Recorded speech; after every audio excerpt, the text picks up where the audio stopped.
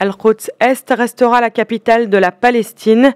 C'est la position adoptée lors de ce sommet arabe qui s'est tenu à Dahran, à l'est de l'Arabie saoudite. Les 22 membres de la Ligue arabe ont réaffirmé leur soutien à la cause palestinienne et rejeté comme illégitime la décision américaine de reconnaître Al-Quds comme capitale d'Israël. En effet, le président américain Donald Trump avait annoncé en décembre le transfert de l'ambassade américaine de Tel Aviv à Al-Quds à la mi-mai. Le roi saoudien Salman a entre autres annoncé un don de 150 millions de dollars pour soutenir l'administration des biens islamiques à Al-Quds Est. La cause palestinienne est notre préoccupation principale et reste ainsi jusqu'à ce que le peuple palestinien obtienne tous ses droits légitimes. Nous réitérons notre rejet de la décision américaine concernant Al-Quds.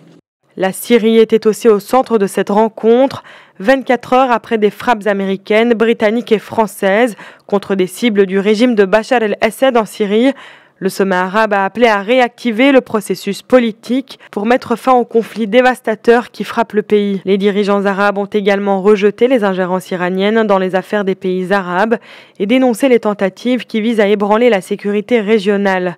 L'Arabie saoudite et l'Iran, les deux puissances rivales dans la région, sont engagées depuis des années dans des conflits par interposés, que ce soit en Syrie, en Irak, au Liban ou encore au Yémen.